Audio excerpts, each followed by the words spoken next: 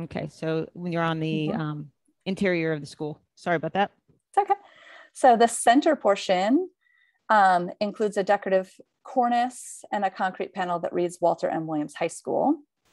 At the intersection of the main block and the east and west wings are three-story rounded bays with glass block that extends nearly the full height of the elevation, lighting stairwells on the interior, which retains its original plan with terrazzo floors, plaster walls, metal lockers inset into the walls, and solid wood doors with textured or frosted lights.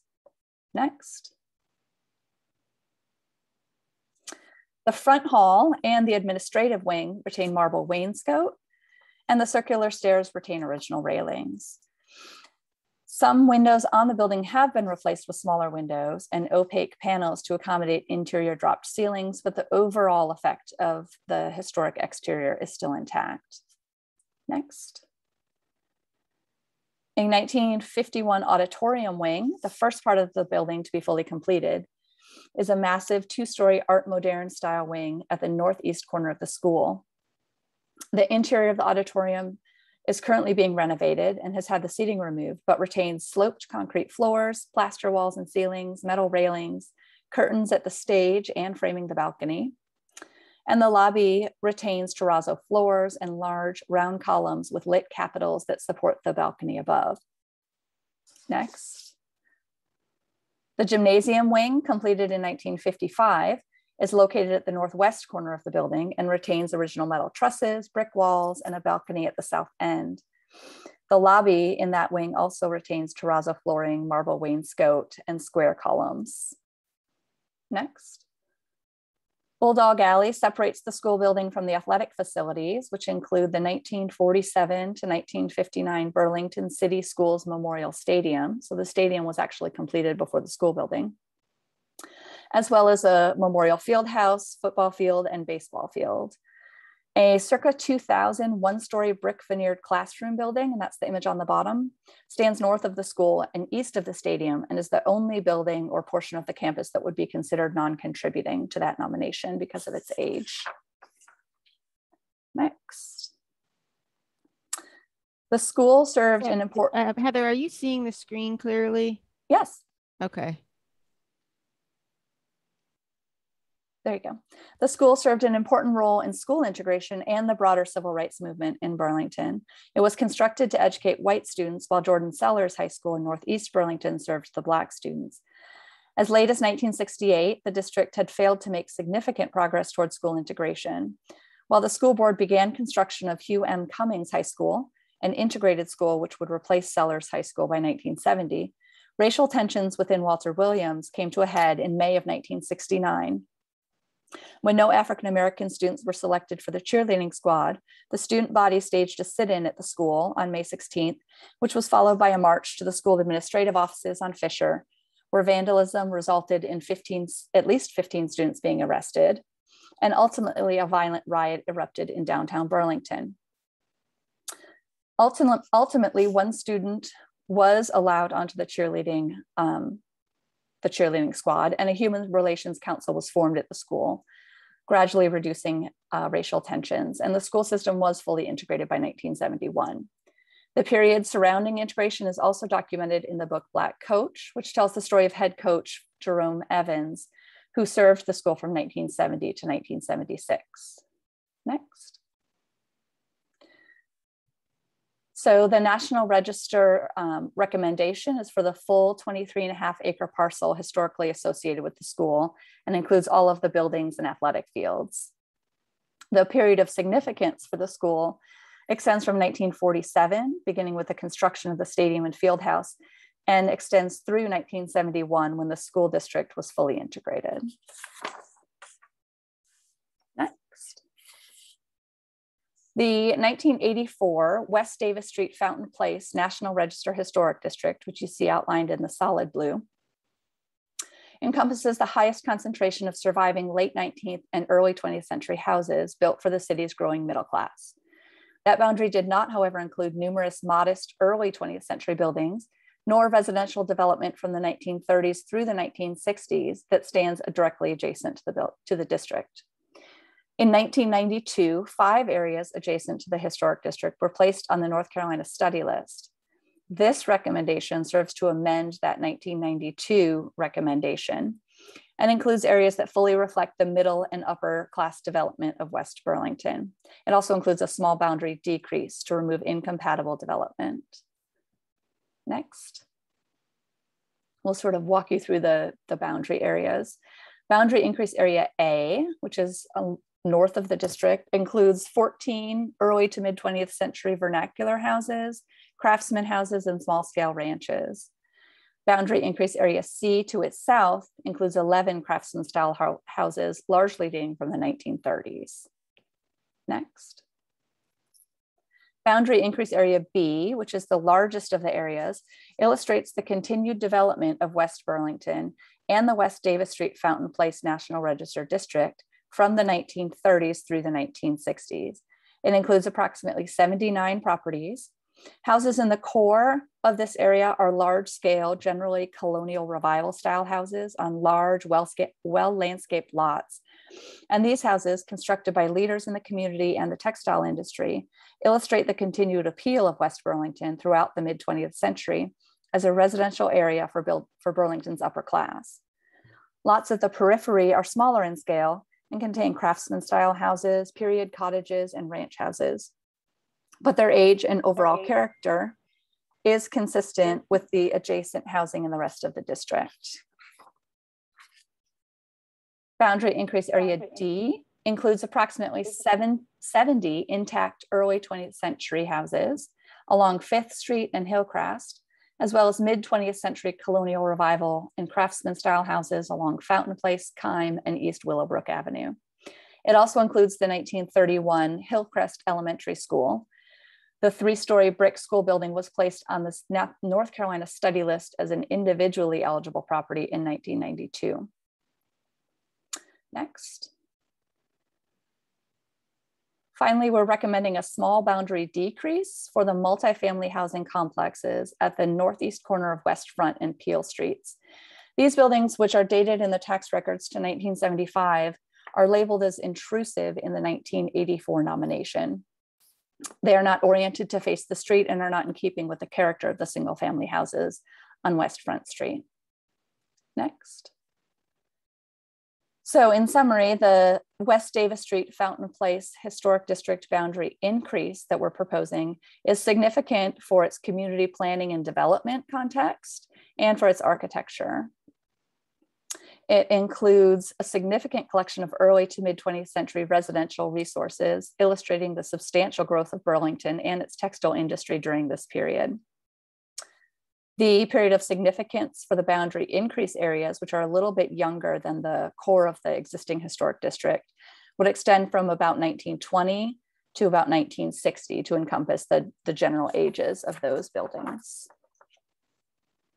Next. And finally, we have one more recommendation, and that is for a Central Heights National Register Historic District. This historic district appears eligible also for its community planning and development and for its architecture. Located at the west end of the study area, uh, the neighborhood was platted in 1925 and includes curvilinear streets, planned green space along a natural ravine, and land reserved for a temporary golf course. The neighborhood is one of several middle class developments in Burlington that were platted in the 1920s, including Fountain Place, Brookwood, and Country Club Estates in West Burlington, and Beverly Hills in North Burlington. Of those, Central Heights is most consistent with the Beverly Hills neighborhood, which was listed on the National Register in 2009. It features curvilinear streets and houses in the colonial revival, craftsman, and period revival styles of the 1930s. Next slide as well as minimal traditional ranch and other houses from the 1940s and 50s. The center streets along Circle Drive are at the highest elevation were developed first with colonial revival, craftsman and Tudor style houses, and low stone walls along Circle Drive and deep lawns along Parkview Drive slope downward toward the Arboretum and are a response to the natural topography of the area. Construction after World, War II continued to the north and west, spurred in part by the construction of Walter Williams High School and the subdivision of the north part of the former golf course into additional lots for the neighborhood. The street patterns and landscaping are characteristic of the early to mid 20th century development, and the period of significance um, would extend from 1925 when the neighborhood was platted to about 1960 when the last homes were constructed. And the other thing to note on this slide is that the original plat for Central Heights was much larger than what we're proposing for a historic district. And it included those areas that are outlined in dotted lines. However, the properties along South Church Street are largely commercial in nature. Um, and so they also divide the core of the neighborhood from the properties south of Church Street. The properties along the northeast side, um, several of those were proposing for inclusion into the West Davis Street Fountain Place Historic District because they're uh, contig contiguous to that district. Um, and so the boundary makes more sense for them to stay over there. And that is all I have, unless you all have questions about the, the project and the recommendations. Um, and I will say that these, so then in North Carolina, they have what's called a study list phase for the National Register. And that is something that the, the state of North Carolina, the staff and the National Register Advisory Committee, which is a group of volunteers who review National Register applications for the state, um, have determined that these appear to be eligible for the National Register. So it is not a National Register listing, it is a preliminary determination of eligibility. So you already had that preliminary determination of eligibility for portions of the West Davis Street Fountain Place area that were proposed in 1992.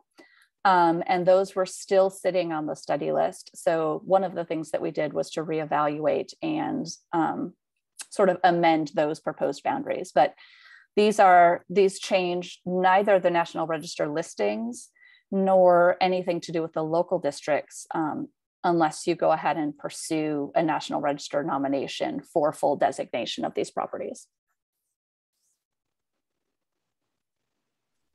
Hey, Heather, thank you um, so much. I do see Sure. um, question in the chat from Debbie Gilmore. Is Hillcrest School the only building on Hillcrest that qualifies? No, the Hillcrest School was placed on the study list individually in 1992. So at that point, that building on its own, like Walter Williams today, was determined eligible as a, an individual property on the National Register. Because of the replacement windows, it may or may not still be individually eligible, but we decided to include it within the proposed historic district boundary increase in that area. So everything within those dotted lines um, and Jamie can maybe skip back to that map. Yes, I will go back to Mhm. that map. There you go. So everything within that dotted line is what we have proposed and what they have um, agreed is preliminarily eligible. Um, now, with any historic district designation, when they actually, if and when you move forward with a National Register nomination, those boundaries would be reevaluated as part of that on the ground survey to write that nomination. So they're always a little bit fluid until a full nomination is prepared, but this is what has been determined eligible. Right, uh, next question on the chat from Richard Knapp. Will the adding of Williams to the historic registry um, affect the ability to maintain and remodel for efficiency? No, the National Register doesn't have any regulatory component with it unless um, the property is receiving state or federal funding or permits. So as long as there are no federal funds being used to update the building, there's no impact on what can be done to the building.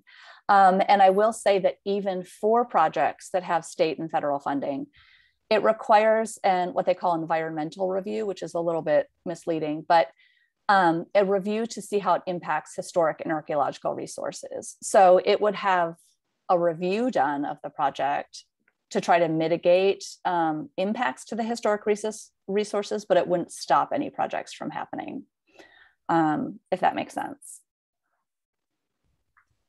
Okay, next question, Michelle K. The bungalows on West Front 800 block, south, Mhm. uh, south side, not included. Are they not old enough? they are old enough, and I'm trying to think because I went back and looked at them later because we surveyed all of those. We found that we couldn't, because of incompatible things along Atwater, we couldn't get to them from the west. But I'm actually wondering, looking back at the map now, if we could get to them from Trollinger Street. So that is an area that I think I would put a note in the file to have them consider in a in an actual nomination. Um, because there are some great properties there. And I don't honestly remember why we didn't pull them out at that for this project, why we did pull them out. Okay, um, next question from Chuck Worrell. As a homeowner, what's the benefit of being part of a historic district? Because it sounds like a lot of hurdles from my neighbors who currently live in the historic district. Why would we want this? So I think the hurdles that you're, I don't know where you live, but I assume that the hurdles that your neighbors are going through are the local historic district designation. Um, so the the local historic district is the one that has the zoning and the regulatory component. Um, in ACOC right now, there is no national register district. However, the, the National Register, which is what this recommendation is for, has no regulatory component. So the only time that you would have any regulation on your property is if you are using state or federal funding or permits, um, which is almost never the case for private property owners. Um, so the a lot of it is just the confusion between a local historic district and a national historic district. And your um, West Davis Street Fountain Place is both of those, although the boundaries are not exactly the same for both of those districts. So that's where that's where I think the confusion is happening. The majority of property owners in National Register historic districts um, may not even know that they are in a historic district. The main benefit to historic districts, and I know that Molly just asked this, is that you are eligible for state income tax credits. Now, this qualifies as state funding. So if you pursue state income tax credits, then you have to jump through the hurdle of having your work approved by the State Historic Preservation Office. But you are under no um, requirement to utilize the state tax credits or to have that review. Okay, so the next I see you, I think you've responded to Molly's comment. Um, Richard, would the local historic, would the local historic admin look to follow street, look to follow suit with national? Um, so I think that's probably more of a, in terms of a follow through with this um, recommendation, I'm assuming he's talking about. Yeah, I, I, am not sure if he means are you looking to follow through with the national register expansion or whether the local district would also be expanded? And i can't answer really to either of those. Right. And at you know at this at this point um, this is a uh, preliminary um, report uh, on the national registry and there's no uh, this has no impact on the um, local historic district boundaries or expansions. Um, in terms of Michelle Richard, what allows a local entity to declare a section as historically protected? Does this national recognition allow the door for the local organization? So I think that I think you're asking about whether or not there's any protection or whether there's local protection. And there is no protection for a National Register Historic District unless there's a property with state or federal funding. So there's that sort of limited protection where it has to be reviewed um, for projects. And those projects, the majority of those projects tend to be um, DOT projects or cell tower projects. So, you know, if they wanted to widen South Church Street into a six lane thoroughfare, this would offer some protection, some protection from that, but there's no protection of individual buildings or properties. Um, and whether or not the local district um, any sort of local overlay is completely independent from a National Register Historic District. So those tend to be locally driven. If there are enough folks in an area that want it, then they can petition the city, but there's no there's no tie to the National Register. Okay, I um, I also do see a hand raised. I'm going to get through the rest of these. Um, so if approved nationally, what would stop the local to apply their rules? Well, you would have to expand the local historic district, and that would be a zoning change that Right. would go through the same as any zoning change. And then uh, Michelle K, would you be excluding the gas station store at the corner of Front and Trollinger? It's on the local map as included. At Front and Trollinger. Oh, I can't see the map. I don't think so. I think the, it's, oh, it's on the local map? I don't have the local maps, so I don't know what's in the local historic district. And Charles, let me go to that. Um, I can go over to that main page that has the uh, whole area. While I'm Yep. doing that, let's. We didn't review maps of the local district, so I don't know where those boundaries are. I think they were on, That's the National Register Yeah. district. mhm. Yeah, I don't have the local ones, so you'd have to pull them from somewhere Okay. else. I think it's outside of the local historic district right now. Um, so I don't want to overlook the person who has their hand raised, uh, three, three, six, two, six, four, oh, six, eight, four. I'm going to allow you to speak. And if you want to just, uh, identify yourself for the record. Hi, can you hear me? Hello. Yes. Can you hear me? Yes, sir. Uh, yes. My name is my name is Greg, and uh, I live on um, Parkview Drive. Uh, my question is twofold. Does this have any tax implications for us if this goes through? In other words, will our taxes be raised because of it? Uh, and number two, what what is the benefit? Because I'm not sure I understood um, before. Um, I'm not sure what the benefit is here. Not not that it wouldn't look nice uh, to say my house is in the National Historic District, but um, other than that, I- I'm not sure what the benefits are here. And I'm not, you know, just trying to understand. That's all. Sure. The so the National Register was created in the 1960s to be a sort of honorary list of projects of properties that were important across our country. Um, in the 1970s, the federal government introduced rehabilitation tax credits. Um, the federal tax credits are for commercial or income producing properties, so they would only be for rental properties in this area. However, um, the state also has an income tax credit for owner occupied residences. So, the main reason that people want his national historic districts these days is for those tax credits. So, if you have commercial buildings, which you all don't have, there are both state and federal tax credits that can be applied to rehabbing those buildings. And those are the same tax credits that are used for the giant mill projects um, and downtown revitalization projects homeowner tax credits in North Carolina right now are a 15% um, income tax credit, and that is 15% of the cost of your rehab. So in North Carolina right now, if you live in a National Register Historic District and you are doing at least $10,000 worth of work, which is not a lot if you need a new HVAC system or a roof or your house painted, if you're spending at least $10,000 and the work is approved by the State Historic Preservation Office, which again, if you're just doing um, systems work and painting and sort of general upkeep, things like that, um, none of those things would trigger any sort of uh, red flags from them.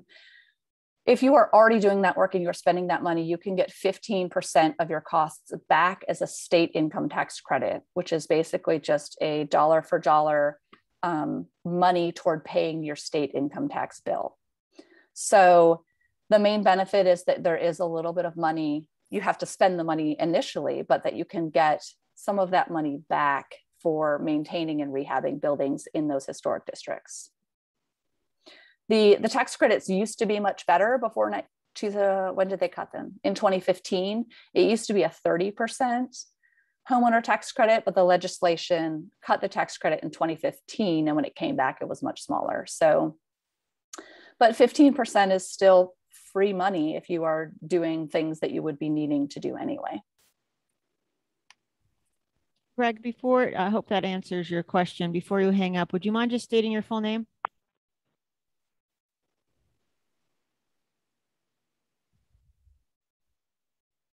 Uh, yes, it's uh, Greg Seposian.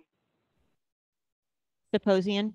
And um, yes, and um, the other thing was, does this have implications where our our taxes would be raised? No, the local, I don't know when they evaluate things in Alamance County, but the local tax department doesn't have this information and doesn't they they do their evaluations on their own schedule and i'm not sure they even know where these districts are. Jamie can you answer anything about that?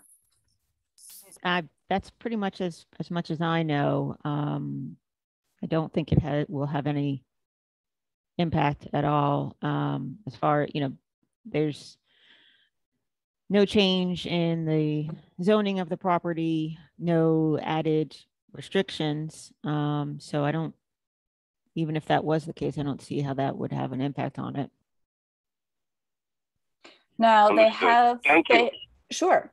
Now they have done a number of surveys. I think some of the best ones were done in Greensboro in the 80s and 90s um, that documented property values over time. And I think they just updated them again in the last five years or so, where they were tracking property values for, these were for locally designated districts versus not locally designated. So it's not quite the same as your question because you're talking about national register districts.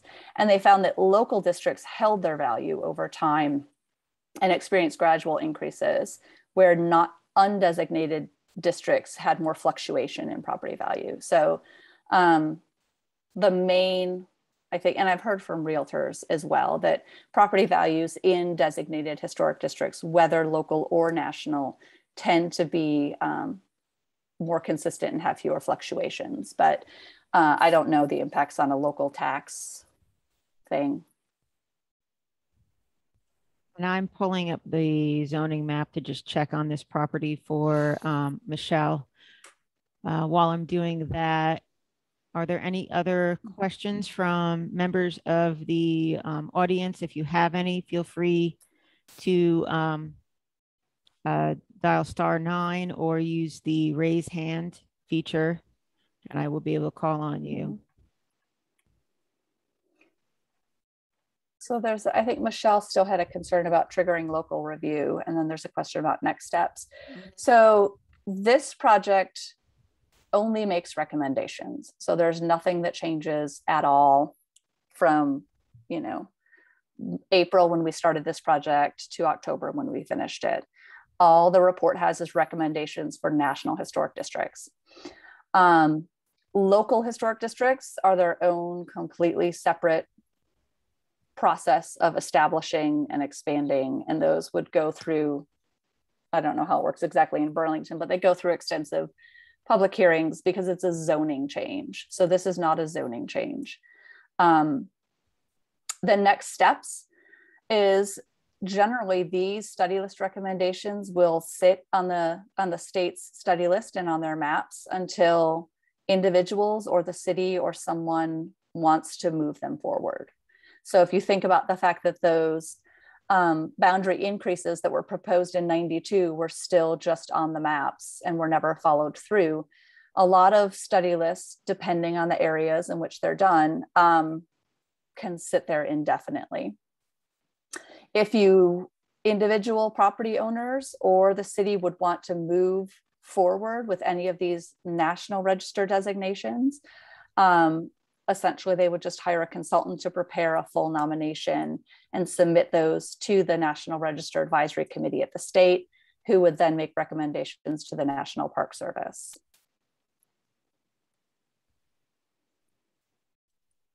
uh, my apologies, um, five thirty-eight Trollinger is within the local historic district, so I just added that to the chat, but it's right on the edge. Um, on the, uh, corner of Front and Trollinger. Let's see, I'm trying to see if anybody else from the public has any questions. I'm not seeing anyone else's hand raised or, um, So I think, I think that, uh, that covers it. Um, on the City of Burlington's webpage, on the, uh, the Historic Preservation Commission page, um, there is, um, project information, um, updates on this, uh, project itself. Oh, there is a question, um, who funded the study? That was from Get, uh, Debbie Gilmore. So this was, um, funded through uh, our certified local grants um, through the state. You want to, Heather, if you want to go into any more detail pertaining to the breakdown of that. Um, I don't remember what the breakdown was, but the the state historic preservation office gets money from the federal government which I remember correctly comes from proceeds from offshore drilling something. It's been that way since the 1970s. So they get an allocation of money every year, and part of that they use to pass through funds to certified local governments. So the certified local governments are governments like Burlington that have a, lo- a local historic district with a historic district commission and at least some portion of a dedicated planner. A lot of them don't have full-time planners don't have a planner that is dedicated full time to a national historic commission, not a national. Essentially, because you have a local district and you have um, historic preservation happening in Burlington, you are eligible for these matching funds. And I say matching, but they're not always half and half matching. So a portion of the money came from this federal pass through grant, and a portion of the money was provided by the city of Burlington and I don't remember the purport or the the numbers offhand. Yeah, it's in. The, I think it's in the chat. Twenty. Uh, I'll double check, but I think uh, Chuck's numbers are correct on there. Twenty four thousand from the grant, and then uh, six thousand um, match, we call it, but uh, contribution from the city.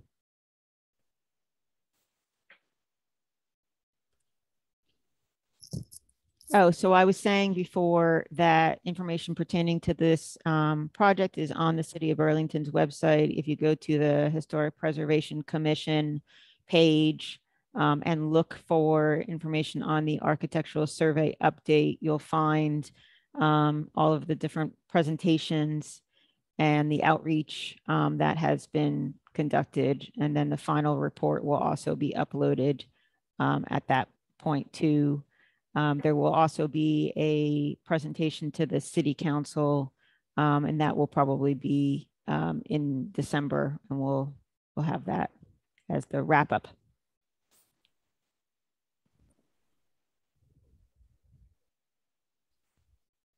Well, at this point, I would just like to thank um, Heather so much for all of her hard work and dedication uh, to this um, project. It's a lot of information and it's a great um, tool for the city um, to use as a resource to help document our um, resources here. And um, would like to also just thank all of the people who have uh, joined us on the call and participated. If you have additional questions or you want to get additional information, you can certainly reach out um, to the planning department, you can reach out to me. Um, you can always email me um, at Jamie uh, or J Lawson at burlingtonnc.gov. Uh, so thanks again and hope everybody has a good rest of your evening. Thanks, Heather. I'm going to stop recording now.